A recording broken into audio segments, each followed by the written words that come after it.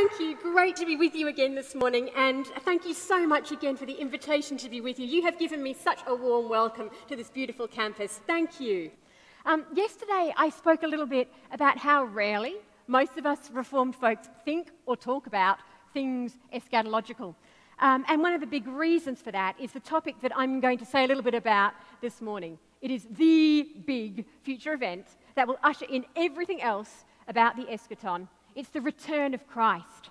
Um, the New Testament, right, is absolutely saturated in this hope. From the earliest times, before even the New Testament as we have it got written down, ordinary Christians were crying out, Maranatha, come, Lord, come. Now, there's some dispute amongst the biblical scholars about whether that really is an eschatological prayer or not, but I'm siding with the scholars who say that it is. And you know that something goes way, way back to the very earliest days of the Christian community when um, in our Greek New Testament, right, the New Testament originally written in Greek, when you have in the Greek New Testament an Aramaic word, and Maranatha is Aramaic. So this is really, really early, this longing for the Lord to return. The hope of Christ's return is a major theme across the board in the early centuries of the church, and the Nicene Creed sums it up this way it says that, that, that Jesus will come again in glory to judge the living and the dead.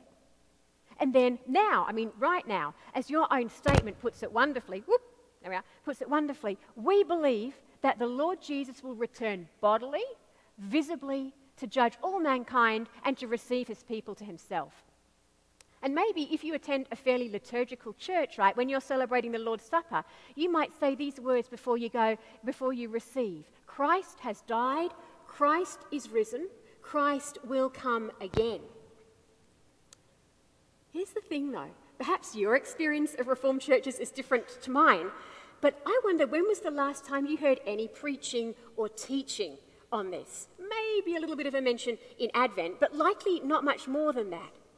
There are all sorts of reasons for the silence. I mean, perhaps quietly, some of us do wonder in our hearts if it's really going to happen. I mean, it's been a long, long time and it hasn't happened yet. Or maybe it's something that we believe, but we really have no idea how to talk about it, and so we just stay quiet. A lot of it, though, I suspect, is also because we don't want to be lumped in with the folks who seem to talk about absolutely nothing else. You know what I mean? The ones who spend their lives trying to correlate various events in the world with an end times timetable. And you talk about being rapture ready and saying you don't want to be left behind, do you? And those who confidently set dates for Jesus' time to come back and then revise them until they die and thereby turn off any number of people from actually hearing the gospel. So, given all of that, I can kind of understand why we Reformed folks do not talk much about the return of Jesus. But, like I say, it's a big deal in Scripture. And if we don't teach and preach about it, well, people are going to have a go at filling in the blanks for themselves. And that usually means pop culture versions of eschatology that folks get from films and books and things that are kind of seriously scripturally questionable.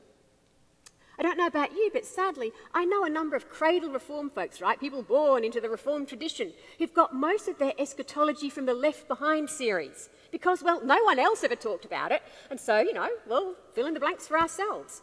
And I also know a number of cradle reform folks who sense that some of this stuff is absolutely scripturally off the wall, but they don't really know how to have a serious conversation about it, so they just stay quiet when their dispensationalist friends start explaining everything and asking them, Are you rapture ready? And you don't want to be left behind, do you? And this is not good, folks. It really is not good at all. So, what do we say about the return of Christ? Well, as the really wonderful theology prof who first taught me about eschatology said, there are two basic problems here.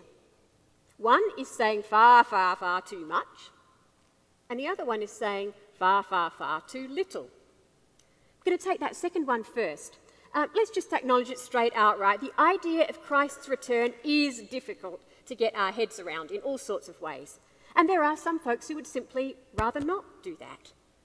So, what do you do with all those scriptures that eagerly anticipate Jesus' coming again?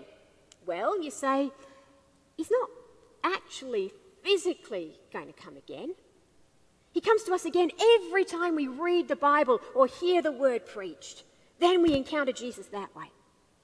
Or for others, he comes again every time we receive the sacrament of the Lord's Supper. Or he comes again in my heart when I pray. Now, all of those things are true in a way. It is true that by the Holy Spirit, Jesus Christ is indeed present to us in the reading and the preaching of the word as we receive the supper and as we pray.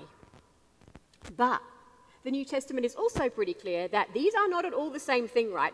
That way of Jesus being present and Jesus coming again in glory, not the same thing. So that's the kind of way of saying far, far, far too little. If we are going to hold fast to what the scriptures have to say, we are going to have to say a lot more than that. We have to say things like, He is coming back once, visibly, bodily, publicly, in glory. When Jesus returns, right, it will not be quietly in your heart.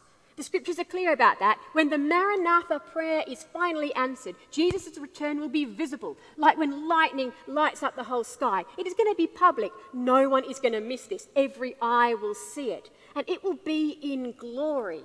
Um, the first time that Jesus came, it was in humility, sort of incognito, right? Uh, it was not immediately obvious to everyone that in Jesus, God Himself had come amongst us, but not this next time. And it will be physical. Just as He ascended in His glorified humanity, so Jesus will return with it. And that picks up on one of the themes from yesterday. Bodies belong in the eschatological new creation. When Jesus returns to usher in the fullness of the new creation, it will be in the fullness of who he is. So, whether we like it or not, whether we're comfortable with it or not, this is the sort of thing that we can say on the basis of the scriptural witness, and we have to say it, right? Um, we must never say less than this sort of thing. It blows our minds, and so it should, right? Um, if you ask me, how can everyone in the world experience this at the same time and all the other how questions that go along with this kind of event that the New Testament says it's going to be? My answer is I have no idea, right? But thank God that is for God to deal with and not me. This is hard because we sort of say, oh, okay, I guess I believe this. It's a mystery, but I believe it. Even so, let's be honest, it does not seem to make much sense. A bit like one more impossible thing you're supposed to believe as a Christian before breakfast. Bear with me though, because there is going to be more that we can say, and it's going to make a whole lot of pieces fall into place, and it makes us go, yeah, aha, of course. Now I see why Jesus has to come back, but I'll get to that right towards the end. Right now, though, I want to say a little bit about that other problem I mentioned. We've had the problem of saying far, far, far too little about the return of Christ. And then there's the problem of trying to say far, far, far too much. How do we do that? Oh, all sorts of ways. Um, here's one of them the timetabling thing.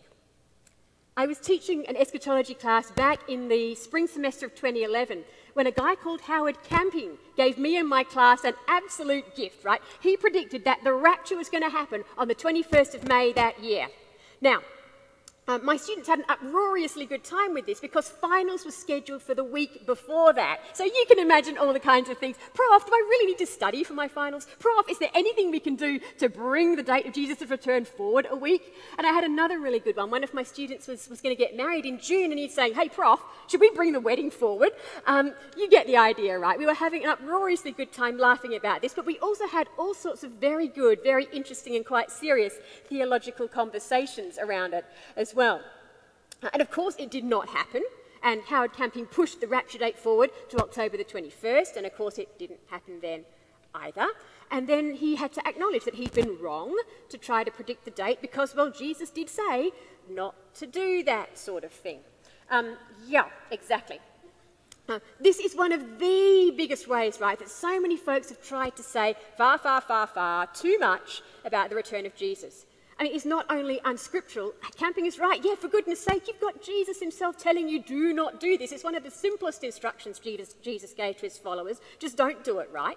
Um, attempts at date fixing. But the trouble is, this brings the whole gospel into utter disrepute, and it makes it so much harder to witness to people um, outside of the faith when their idea of what the faith is is some guy predicting the date when Jesus is going to return. But it's not just Harold Camping, right? Loads of people have done this down the centuries, if not try to pinpoint the actual specific date, at least to attempt to second guess like political events and natural disasters as the beginning of the end. Oh, and I discovered just recently, by the way, that it's not just the doom and gloom stuff. Normally, when people try the timetabling for Jesus' return, it's like disasters and, and horrible things. But right now, in the Midwest, there are plenty of folks who, not entirely tongue in cheek, are wondering about whether the Cubs uh, making it to the World Series is a sort of a sign of the imminent return of Jesus. Um, no comment. Other ways of saying too much trying to say that the scriptures give a detailed kind of coded, you know, Da Vinci Code, coded blueprint of how the end times will unfold. No, they don't. Scripture has a lot to say about the fullness of the coming kingdom of God and how to live now in the light of what's coming, um, and even how to interpret, as Jesus says, the signs of the times. But no matter what anyone tries to tell you about number codes and symbols in the book of Daniel and Revelation, for example, these books are not in our Bibles to give us God's secret code for calculating the identity of the Antichrist and scheduling the end times. Uh, I'm sure you know all of this, and I'm going to leave it to your Bible profs to explain to you in more detail about this stuff and give you really good resources for um, reflecting on, on those books and understanding them well. And there are plenty of good things out there. So there's picking the date, there's kind of more general timetabling for the end. Um, and then, of course, one more way of saying too much about the return of Jesus, going to spend quite a bit of time on this one. There's always the whole rapture thing. Um, the classic understanding of the rapture says, among other things, that Jesus is going to come back invisibly first time and just halfway down, okay, invisibly halfway down, and he's going to whisk the true believers off up into heaven, uh, up in the air, up into heaven for seven years, while everybody else experiences seven years of hell on earth during the tribulation.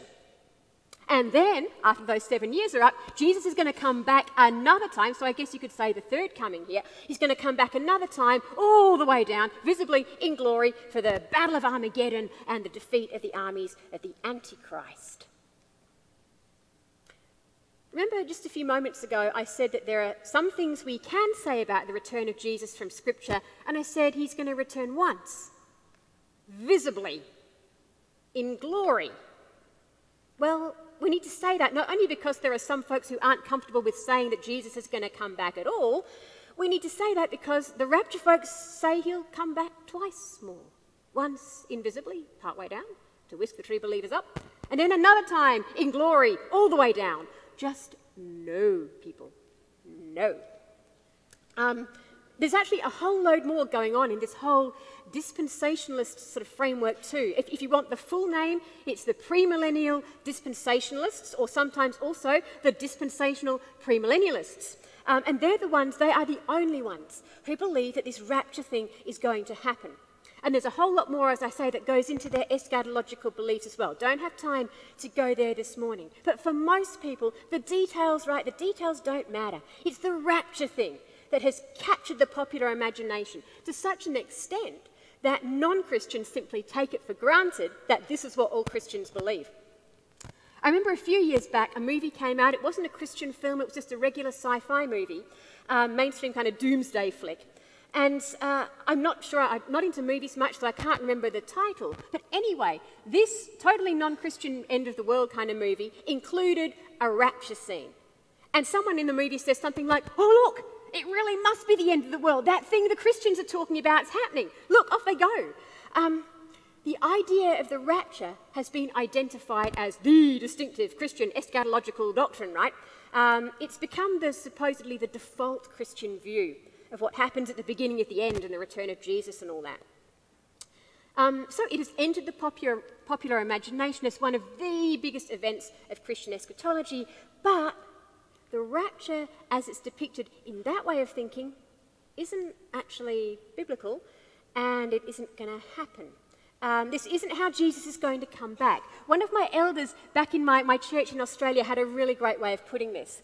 Um, he wasn't sure what he did believe, to be honest, about the return of Jesus and all of this, but he was pretty sure about what wasn't biblical. And he said something like this Well, if I find myself floating upwards, I guess I'm not going to hold on to the table as I go, um, but it isn't going to happen, is it? Nope, Bill, that was his name. Nope. It isn't going to happen.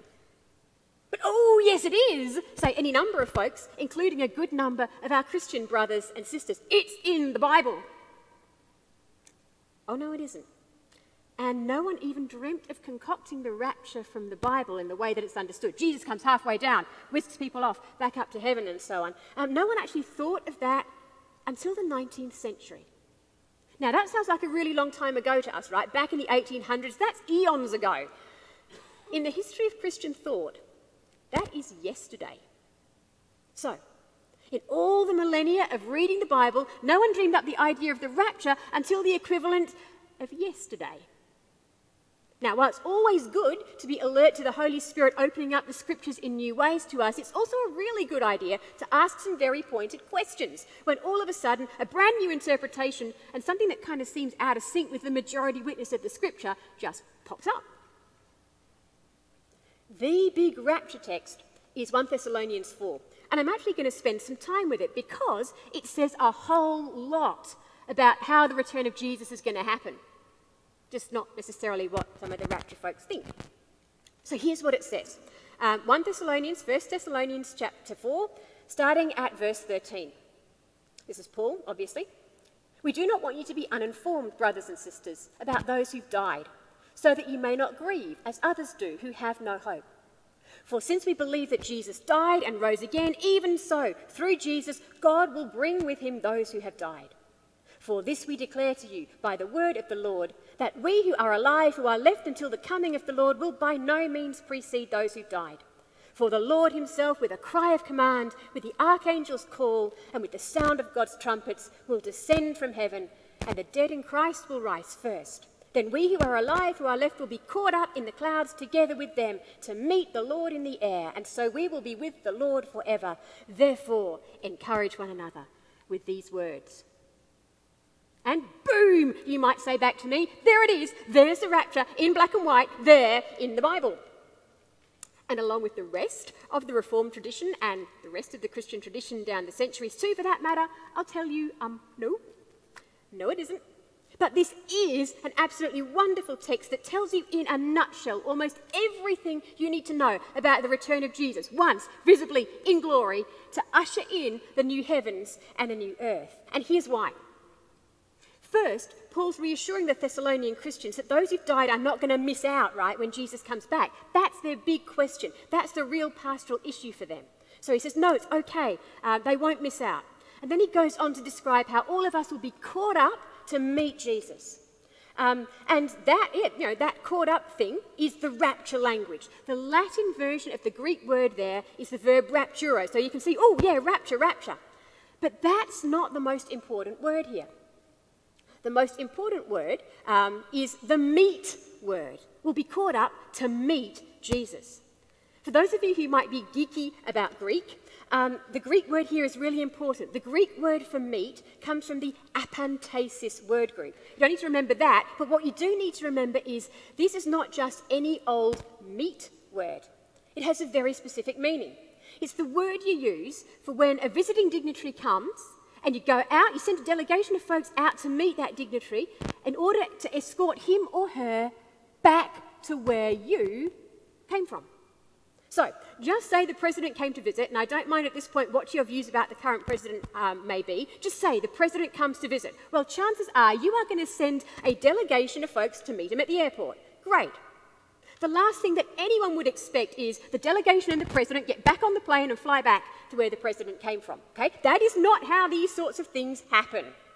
If you go do the apantesis thing to meet the visiting dignitary, it's to escort him back to your place. So the delegation would go, they'd meet the president, then they'd turn round and you'd escort the president all the way back here. That's what you use that apantesis word for. And in case we had any lingering questions about that, that's exactly how the rest of the New Testament uses that word on the other occasions when it comes up. Here are a couple of cool examples. Um, you know the parable of the wise and the foolish virgins, right? Um, and we're now at the point where the foolish virgins, they've run off to try to find oil in the city because they have run out. And in the meanwhile, along comes the bridegroom. So what do the wise virgins do? They go out to meet him. Yes, it's that apantesis thing. And do they go out to meet him to go back to wherever he came from? No. They go out to meet him to escort him into the house, and then the doors are locked and the poor foolish virgins are left outside. One more, really cool one. End of Acts. Paul is on his way to Rome and indeed to his death. But Paul finds himself now, last chapter of Acts, on the outskirts of Rome, and the Christians who are in Rome get to hear, oh man, Paul's coming, he's on his way. So what do they do? They go out to meet him. Apantesis word again. And then they escort him with them back to Rome. You see where I'm going with this, don't you? And more to the point, do you see where those who rise to meet Christ in the air in Thessalonians are not going? They are not going to be whisked back up to heaven where Jesus came from for seven years. They are going to meet Jesus, to accompany Jesus back down to earth, because what Paul is describing here is when Jesus comes again in glory uh, with the trumpets, with the archangels, with the cry of command. Yeah, don't ask me where the kind of rapture believing crowd get the idea that he's coming back invisibly and like no one's going to know, because that sure is not what Paul is describing here. There are trumpets, there are archangels, it's all happening, people. Um, and that's because Paul is describing uh, the fullness of the eschaton, folks, when everything happens. The Lord returns, there's a general resurrection, there's a judgment, there's the elimination of evil and sin and causes of sin, and then God will dwell with his people forever, just like it says in Revelation 21. The rapture, as left behind and so on, describe it. It's not going to happen. It simply isn't scriptural for even more reasons than I can set out here, but you get the idea.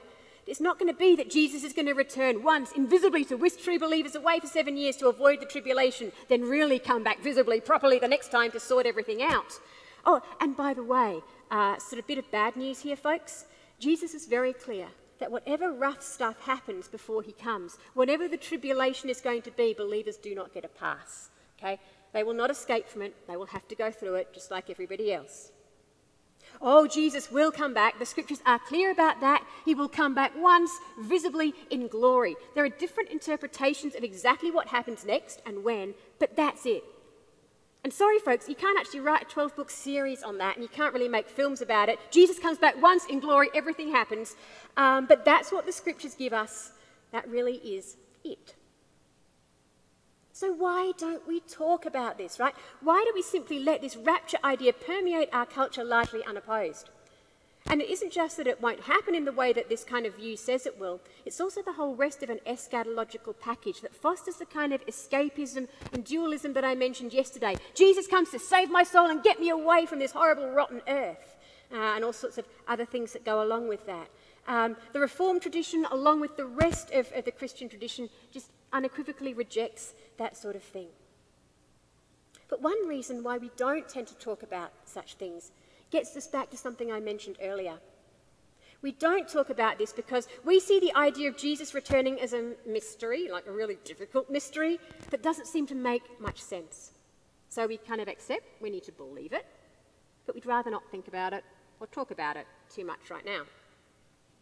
It is indeed a mystery but it makes a whole lot of sense. If we see eschatology as the scriptures intend us to see it, not as a bunch of isolated, somewhat crazy and scary sounding events way off into the future, but as the end of the story of which we are in the middle.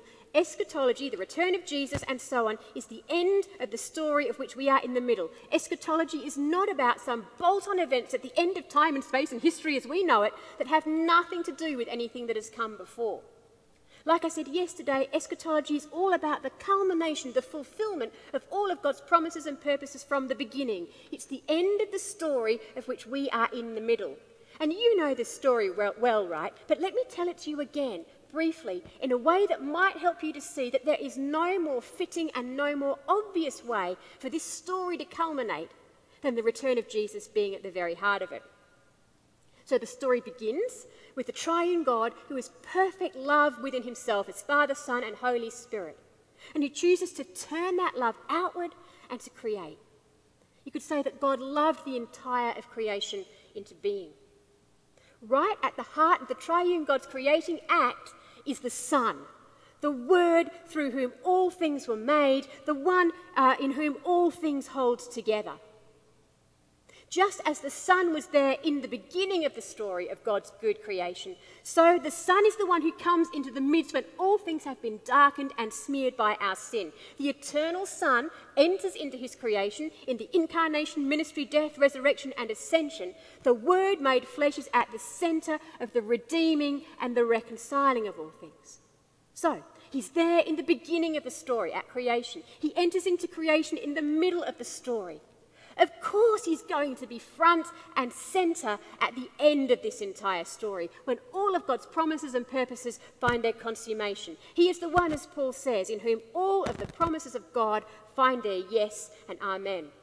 I'll say it again the eschaton is the end of the story of which we're in the middle. The return of Christ in glory, right? The return of Christ in glory makes much, much more sense when you see that, of course, he's going to be front and center at the end of the entire story because he has been front and center from the very, very beginning. This is the end of the long story of God's dealings with his creation, that he has loved into being the people he's called to be his own, and just as the Son has been at the center from the beginning, so it makes all the sense in the world that he will be at the very heart of things at the end.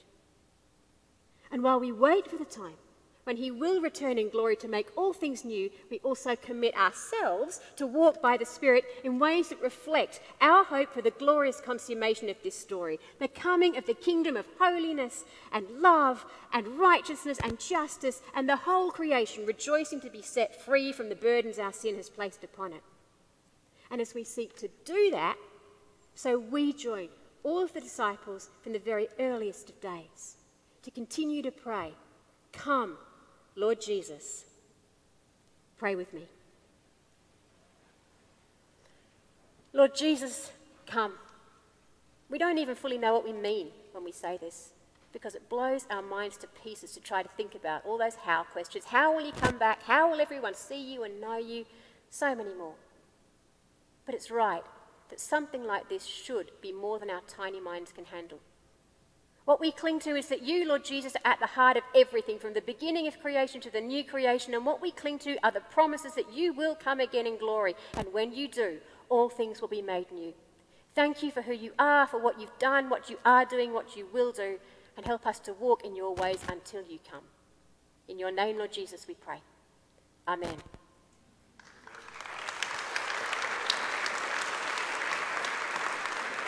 Let's stand and sing close out. Praise God from